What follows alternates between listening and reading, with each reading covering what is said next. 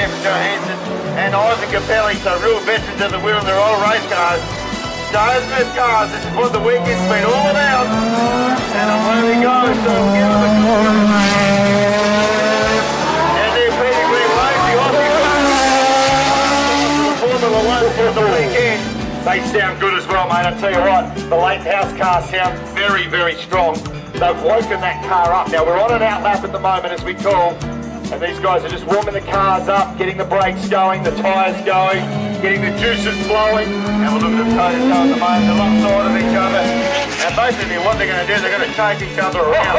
That's exactly. They're going to have a little bit of a dual dice here over the next four or five laps. Oh, Stefan is a very competitive driver, and Ivan does not like to be beaten.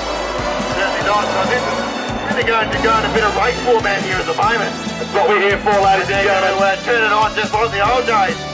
Couple of old sparring partners back out there. On the front straight comes. And here they go. Johansson. Johansson's got the lead.